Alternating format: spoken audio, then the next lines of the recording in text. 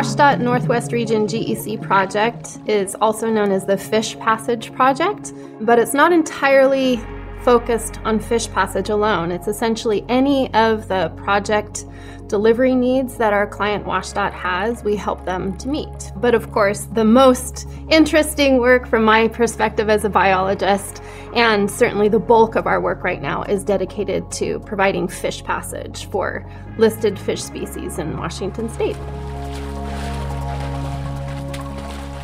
It is a very, very long history. It goes all the way back to tribal treaty law.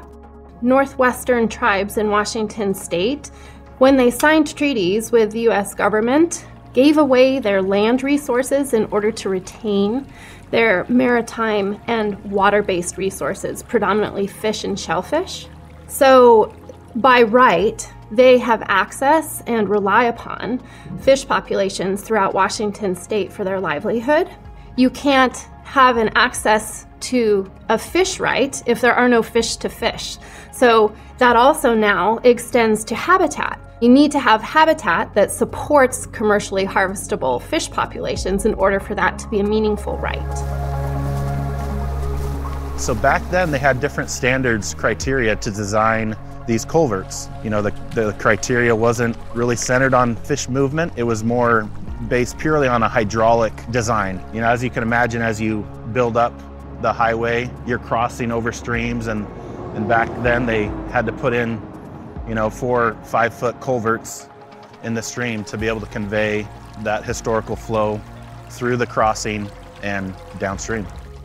It's a unique project, right? It's not building a new freeway or widening or adding lanes to an interstate, but, but instead it's addressing some issues and challenges that were developed when we originally built a lot of the roads back in the 50s. And so we're correcting a lot of those locations where just small culverts and pipes were kind of thrown down in the roadway, and they created these uh, these barriers for fish that you know they're certainly not, intentional and didn't know at the time, but now that we've seen how that's impacted the uh, fish migration and spawning habitat, there's a great opportunity to, to, to fix that.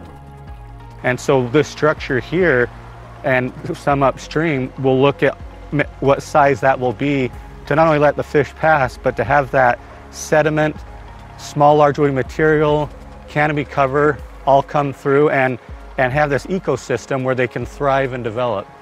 So a lot of these places are pretty heavily urbanized, so we're having to deal with areas that are going under shopping malls, uh, through parking lots, or through like beautiful wooded areas like this. So every site is very unique. Every site has its own set of challenges. These city streets, they have dozens of underground utilities. So getting through all of that has been very challenging because you can't just not replace them. You have to replace them some, somewhere, somehow.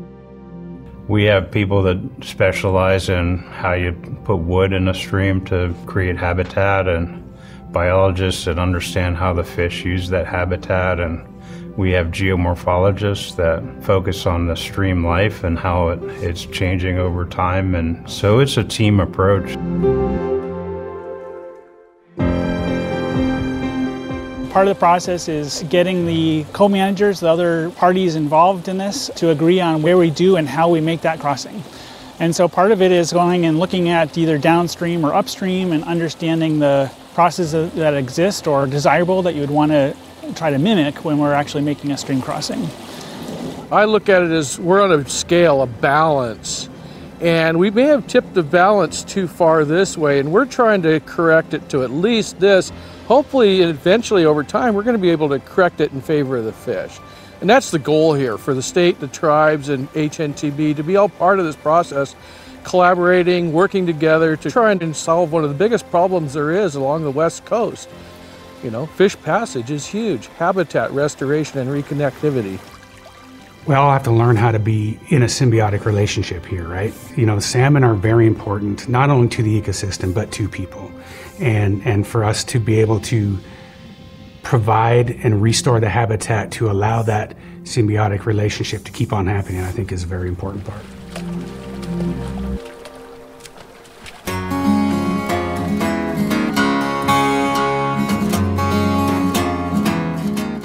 You know, sustainability is one thing that I hear from the young engineers or even young biologists too. So I think to get them interested and excited working on this type of project is really exciting. It's really cool. I'm working on things that are helping the environment and it's uh, correcting issues that are present today and hopefully once we correct them they'll be able to be fixed for years upon years and I get to be able to point at that uh, when I'm retired and done with my career and be like I, I did that coming to work at HNTB and knowing like there's a ton for me to do and there's not going to be a shortage of work, I mean, that's a huge draw and one less thing to worry about in a career standpoint.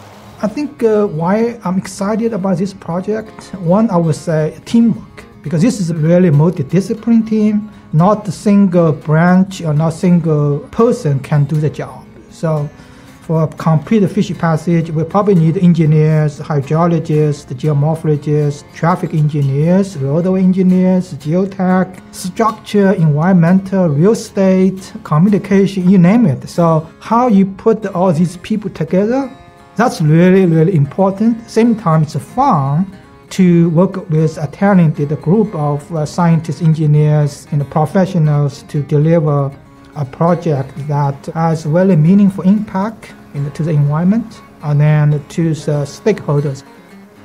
I'm excited to wake up in the morning to work on these projects because I know they have a real life implication on everyone. So it's really cool that we can help try to preserve these populations to help them thrive again.